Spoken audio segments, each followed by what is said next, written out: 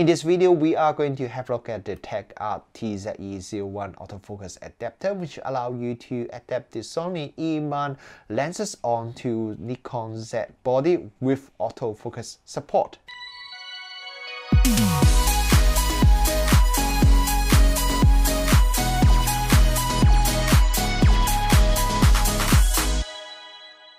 Good, good morning everyone, Rich Wong here. So last week I published a video that um, was the first impression review of the TechArt TZE01 adapter. That's the first ever uh, adapter that allow you to adapt the Sony E-mount lens onto the Nikon Z body with autofocus support.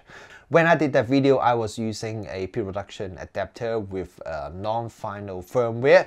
Um, I have just received the USB dock from TechArt a couple of days ago and that allowed me to update the firmware to the 1.0 firmware and that's why I'm coming back today and um, do another round of video um, to test out the performance of the TechArt adapter with the 1.0 firmware. If you haven't checked out my first impression video of the TechArt adapter, I would highly recommend you check it out because I'm going to skip over some of the things that I already discussed in that video. And um, I think a lot of the, the good thing about the adapter in that video should still apply to here because I'm only expecting the firmware will only get better uh, compared to the pre-production one that I was using before. So yeah, go watch that video first and then come back to this one if you haven't watched that one first. Otherwise, if you want, you can still continue watch this one and I will just try to uh, quickly cover what I've talked about last one. Now first, let me quickly go through um, the design and the build quality of the adapter first. Uh, keep in mind, I'm still using a pre-production sample, so um, the build quality is not really exact final quality, but it should be very similar. Now the first thing you'll notice is that the adapter is actually a very very thin adapter. Look at it, it's mounted onto the body and how thin it is. If I don't tell you that there's adapter here, you may not even notice it because it's just so thin because of the flange um, distance between the uh, Sony E-mount and the Nikon Z mount. There's only 2 mm difference, so that means the adapter itself is only 2 mm uh, deep let me take it off and show it quickly to you. Yep, so this is the adapter. Very, very thin. Somehow they managed to put all the um, electronic contacts, CPU, everything inside it. That is a bit like a magic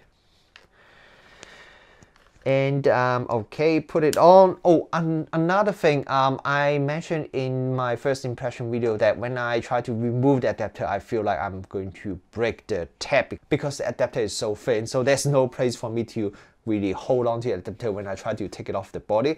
But I noticed there's actually another easier way to uh, remove the adapter from the body and that seems to be much easier and faster. And the way to do that is that um, once you have everything on here, you remove the adapter with the lens uh, first. So you don't just remove the lens from the adapter, you move remove both of them together. So to do that, you click the uh, button on the body and then you twist it. So now you have both the adapter and the lens removed. And now you just press this little tab here and that will allow you to easily remove the adapter from the lens as well. With the adapter and the lens all mount together, it actually feels very solid. The amount of play um, when you really try to twist it or um, hold it by just the lens, it doesn't feel much difference compared to you just mount a native lens onto the body directly. TechArt did say that if you want to mount a very heavy lens onto the adapter and onto the body, it's best you hold uh, both the lens and the body as well. Don't just hold the body by itself. But that's pretty much the same case if you just mount a very heavy native lens onto the body. You really should be holding both the lens and the body using your two hands as well. In my first impression video, I have tested the single autofocus performance um, of the adapter with a few different Sony FE mount lenses and overall the performance was very good. Uh, autofocus speed is fast and the accuracy is good. Reliability seems to be pretty good as well. With the Sony 2470 f2.8G master lens, the autofocus that seems to um, hesitate a little bit there is some housing or wobbling before um, it managed to lock onto the target. So I tested with the 1.0 firmware again. Um, unfortunately, that doesn't seem to change much. There is still some wobbling before it managed to lock onto the target. But even with that, I think the performance is still good enough for most people. Oh, before I forgot, I have actually also tested with the Sony um, 100 to 400 f4.5 to f5.6 G master lens as well, just to see if um, it works with the super telephoto lenses. And it also works reasonably well as well, even though uh, I was testing it indoor with this lens, which is a much slower lens. And with the previous firmware that I got, it wasn't really compatible with a lot of third-party FE mount lenses. So even though it does work with the Zeiss Batis 25 f2 lens, uh, with the old firmware, it didn't work with the Tamron lenses or Sigma or the uh, Samyang lenses. So this time I give it a test with a lot of different third-party FE mount lenses. So the first one I test is the Tamron 2875 2.8 because this is the super popular lens. Um, and it works and it works very well as well. Uh, autofocus speed is very fast and the accuracy and the reliability are both very good as well. Then I tested with the Sigma 70mm f2.8 macro lens. And again the autofocus works very well just pretty much exactly the same as the Tamron. Fast accurate reliable there is some very occasional, very minor wobbling sometimes before I lock onto the target. But I think for most users, it's actually not a problem at all. After that, I tried the Samyang uh, 35 f2.8 lens. So um, I think that was the first Samyang autofocus lens for the Sony FE mount. Correct me if I'm wrong. And um, so I mount that lens onto the body with the adapter and I immediately noticed something's not quite right because the maximum aperture um, is not 2.8 no matter what I do. Um, it doesn't go down to f2.8 and I noticed that the um, either the EVF or the LCD screen on the Z6 the refresh rate seems to be a lot slower than usual. Um, so it looks like the camera is struggling um, to communicate with the lens or something like that. But somehow, um, autofocus actually still worked. Um, is quite a bit slower compared to the previous uh, Tamron or the Sigma or the Sony native lenses, but it still works. So because of that, I then switched to uh, a much newer Samyang lens, the 35 f1.4, which is one of the latest lens. And with that one, it works perfectly. The maximum aperture is displaying um, correctly f1.4 autofocus speed is very fast, very accurate. So um, I'm guessing because that 35 2.8 was the first Samyang lens, maybe they didn't do something um, quite as well as the latest 35 1.4 and so maybe that's why that the 35 1.4 works pretty much perfectly while the 35 2.8 works but not really perfectly. Now I mentioned the Zeiss Batis 25 f2 lens before because I did test it in my first impression review the autofocus works very well with it with the earlier firmware and of course it still works very well with the latest firmware. But one thing that I'm most interested in is that because with the um, the older firmware the manual focus doesn't work at all. When I switch to manual focus mode the first thing is that the manual focus just didn't work at all. And also another thing is the OLED display on the lens um, it's just off all the time when I was trying to manual focus. But now with the latest 1.0 firmware the manual focus works and works perfectly. I can manual focus with no problem at all and also the OLED display also display the information correctly just as if you mount it directly onto a Sony body. So that is excellent because I know that a lot of people are very interested in this Sony Zeiss Batis lens. So it looks like the compatibility with those lenses are now a lot better with the 1.0 firmware. And I also did a bit of testing just to see when I'm shooting in single autofocus mode, um, when I move the autofocus point from center all the way to the edges and how does it affect the autofocus performance. Because even TechArt say that the autofocus performance is the best uh, when you're using the center autofocus point. So I start to test by using the center autofocus point. Uh, the performance is pretty good. Then I start moving slightly to the edge the autofocus performance is still pretty good when I'm starting to move closer and closer to the edges. when I move the autofocus point further out, uh, when it's getting closer and closer to the edge of the sensor, then I do notice the overall um, autofocus performance starting to drop a little bit. Um, sometimes it's failed to lock onto the target when I finally move the autofocus point to the edge of the sensor, then um, the autofocus performance now drops significantly. Most of the time, the camera couldn't even lock onto the target. It seems like the closer the um, the target is, the harder for the camera to lock onto the target because the closer distance target, it seems like it's almost 100% fail. While when I focus on some of the, the further away objects, then the camera does sometimes manage to lock onto the target. So overall, I think if you want to maintain good autofocus performance, try to maintain um, and use just the center, maybe 60 or to 70% of the autofocus area.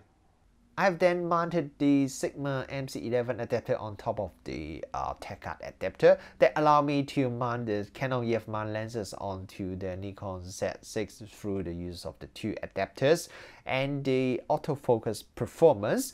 Um, really depends on which EF mount lens um, I mount onto the body, but it, overall it works and with a particular lens it works really really well. So um, I was a little bit surprised but anyway I have created a separate video that uh, talk about it and show you some of the, the result I got. So um, go check out that video after this if you are interested as well the next thing I want to test is the continuous autofocus performance. So I start testing with the 2470 f2.8G master lens and um, I think the performance is pretty good. Um, definitely there's some noticeable improvement when I compare with the previous firmware. Um, I switched to the 35 1.4 Sony lens and definitely I can notice there is a big difference, big improvement compared to the previous firmware because with the previous firmware when it's trying to do autofocus at maximum aperture when the distance between the camera and the target is changing, sometimes there will be some pretty heavy pulsing or wobbling.